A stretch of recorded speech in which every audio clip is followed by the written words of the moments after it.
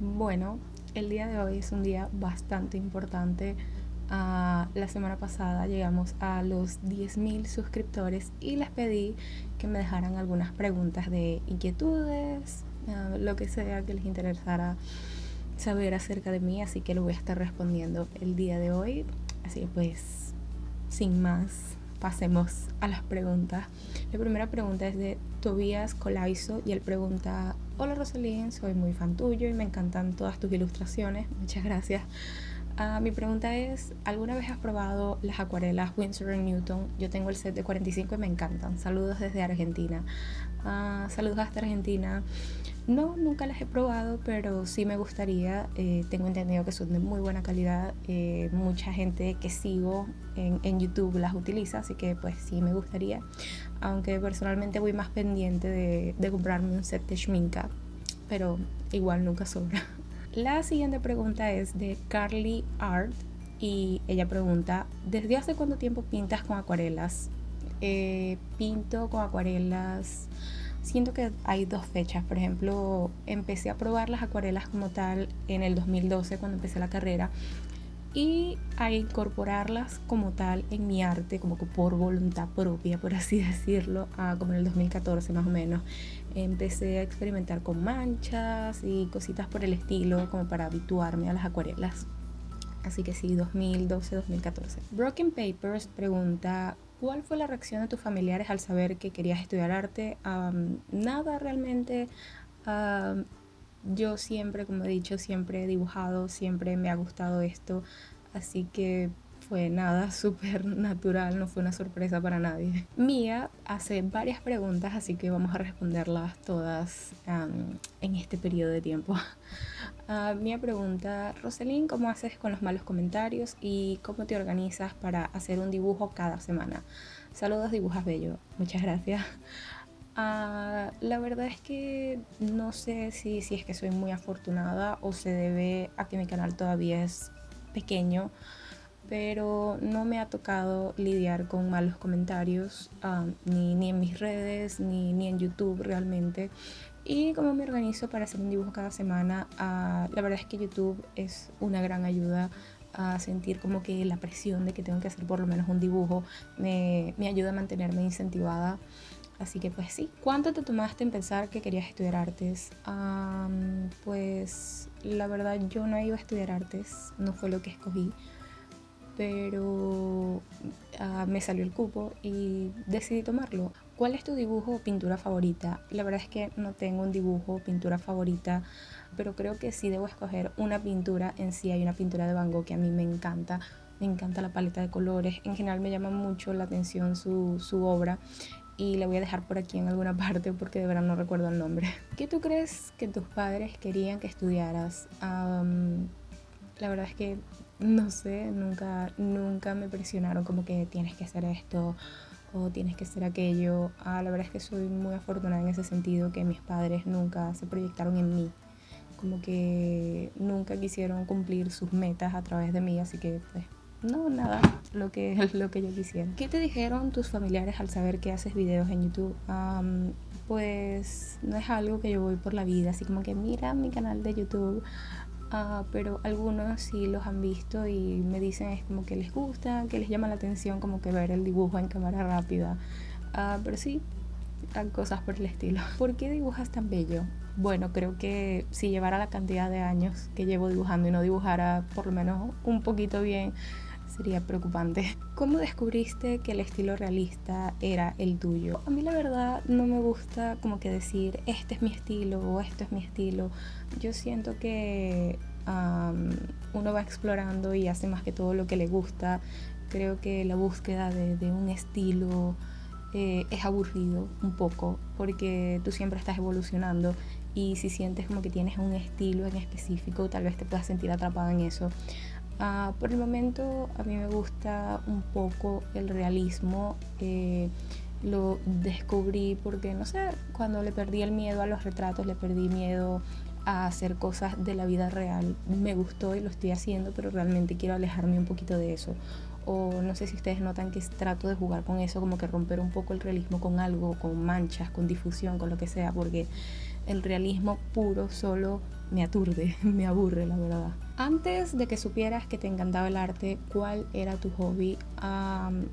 siempre me encantó el arte. la verdad es que es un poco, un poco difícil. el arte ni siquiera era mi hobby, era mi adicción. Yo, yo era adicta al arte. Bueno, no al arte, a dibujar. Ah, era adicta de pan, o sea, se los digo, yo era adicta. Ah, pero cuando estaba pequeña me gustaba mucho la meteorología. La verdad, ahorita recordando me gustaba, me llamaba mucho la atención los tornados, los huracanes. Eh, por un tiempo pensé que quería ser meteoróloga, como entre los 9 y 11 años. Me gustaba muchísimo, leía mucho de eso. También leía mucho del espacio.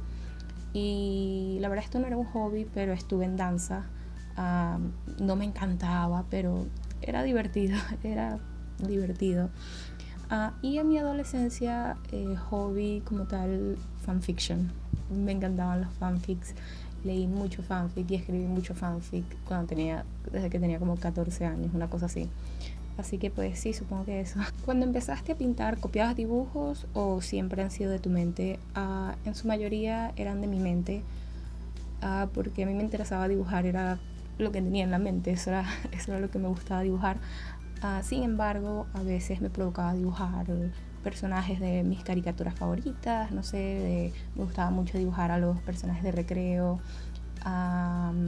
de los padrinos mágicos, las chicas superpoderosas, eh, Johnny Bravo también me gustaba mucho, cosas por el estilo.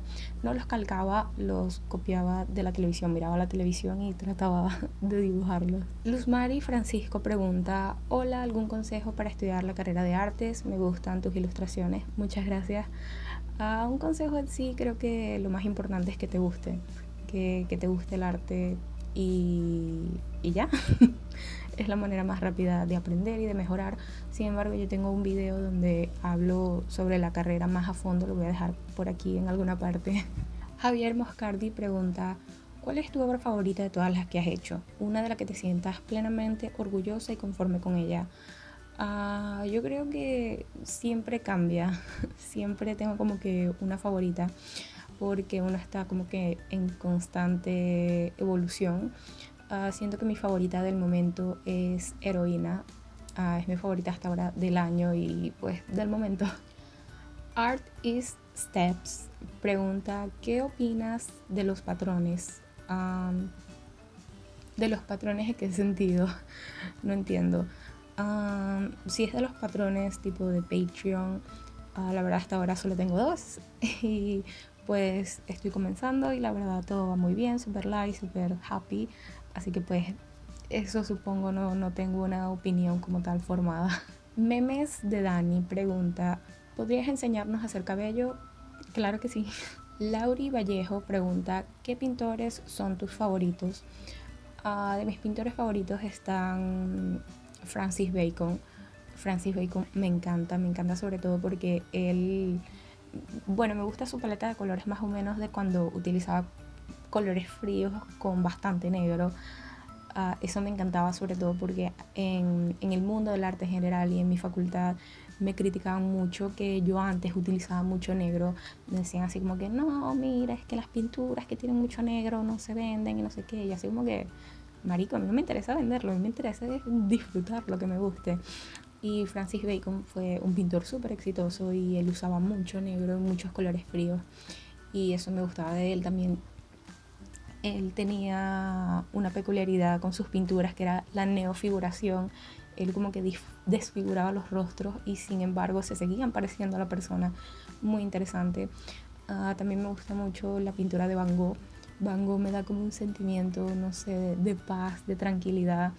Ah, de hecho, mi gato se llama Van Gogh.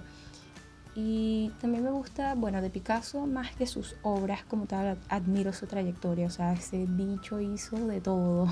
Así que eh, serían esos. Y en la actualidad estoy muy obsesionada con la obra de un pintor que descubrí por Instagram.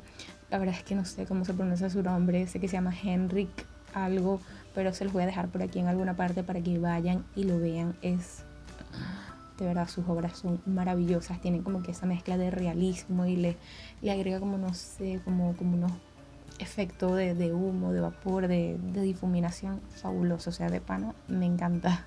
Loa pregunta, ¿has visto el canal de Antonio García Villarán? Si es así, ¿qué te parece? Ah, de hecho, sí, lo, lo, descubrí hace poco, lo descubrí este mes o el mes pasado. Ah, me encanta. me encanta, me gusta mucho. De hecho, creo que lo comenté en uno de sus videos que lo que me gusta de su canal es que puedo aprender como a mí me gusta. A mí me encanta que me echen el cuento y eso me fascina de sus videos. Yo personalmente para buscar, investigar sobre artistas, soy muy perezosa.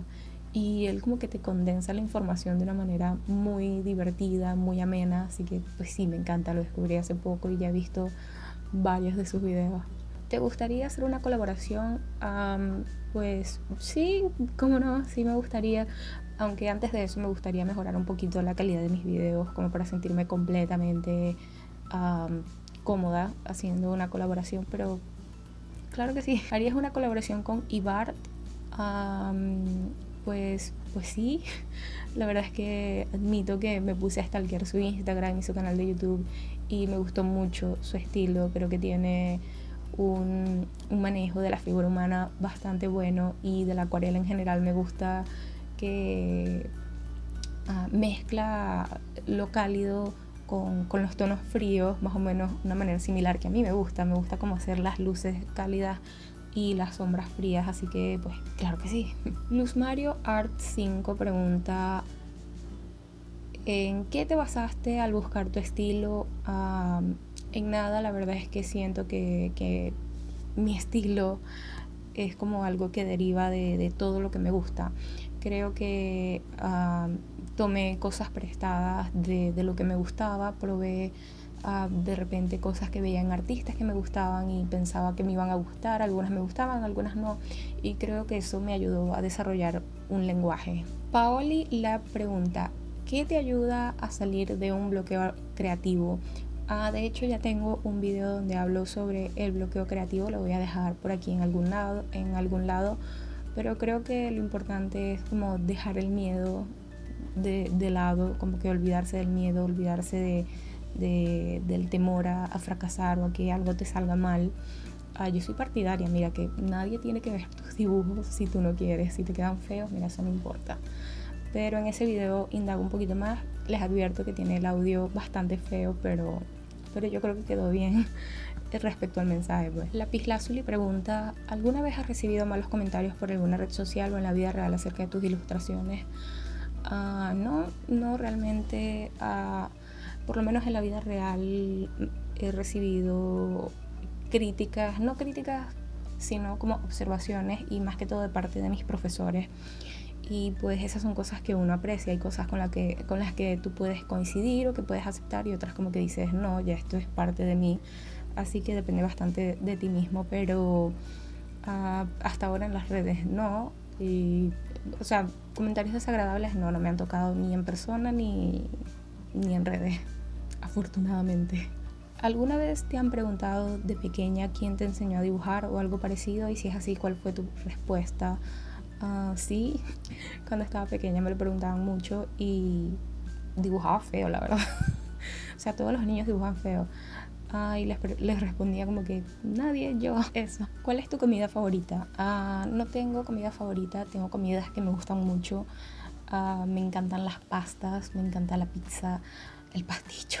El pasticho me encanta, el pasticho es la lasaña. Aquí en Venezuela se le dice pasticho. Ah, pero sí tengo un sándwich favorito que creo que nadie adivinaría, además de mi mamá, que es ah, un pan con chishui y diablito. para los que no saben qué es esto, ah, el chishui es como queso cheddar para untar y el diablito es jamón endiablado y me encanta. O sea, de verdad, la primera vez que yo vi que alguien lo comió fue como que, ¿qué? Y cuando lo probé, tenía como nueve años y me encanta, de verdad. No lo puedo aburrir, nunca lo aburro. Para mí es un manjar. Así que si no lo han probado, se los recomiendo.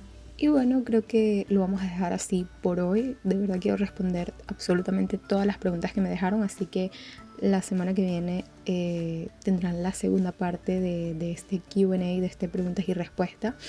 Antes de irme, quiero mandarle un saludo bello y hermoso a mis hasta ahora dos primeros y únicos Patreons, que son Pablo Jumbo y arroba incónico en Instagram. Ah, muchas gracias por estar allí, muchas gracias por ser mis patrons, estoy súper contenta de tenerlos allá. Ah, si les interesaría ayudarme en Patreon, pueden irse a, mi perfil, lo voy a dejar al final de este video y también abajo en la descripción para que vayan a ver esas suculentas y hermosas recompensas. Ah, como siempre pueden seguirme en mis redes sociales, Instagram, Facebook, en todo aparezco como Rosalind Estefanía y mercancía de mis dibujos en mi Redbubble y Society 6. No olviden suscribirse y darle me gusta a este video si les gustó. Y nos vemos la semana que viene para responder el resto de las preguntas. Chao.